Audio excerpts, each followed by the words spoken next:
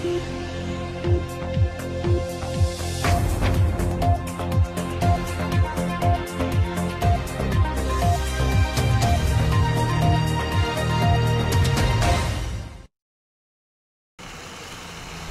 craft of keeping Norwich University clean and landscaped falls to the team of blue shirted personnel that can be easily seen walking around campus hard at work. Mowing, shoveling, snow removal, room setups, planting, and general outside upkeep are the duties of the grounds crew at Norwich University, and it is not an easy task to keep all 1,200 acres of Norwich land in pristine condition. The strength of the grounds crew lies in dedication and personal effort put forth by each employee and the coordination of information from their superiors. Grounds crew is not an easy job at Norwich University. And on this team is George Sanders, an avid employee of 14 years of Norwich University.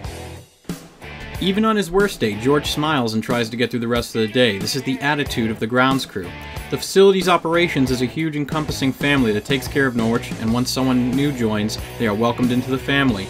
You can find these blue shirted heroes almost anywhere, anytime, at Norwich University. The FAC Ops family is truly forever.